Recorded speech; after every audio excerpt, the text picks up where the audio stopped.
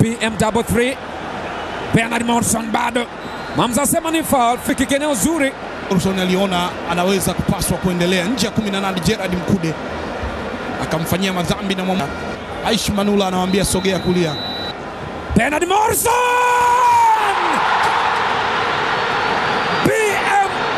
BMW3 Bernard Morrison anabadili scoreboard, free kick ya viwango vya kimataifa, anakwenda kutambana na kuambia nimewapa hiyo, chukua chetu chetu chetu, tumewachetua.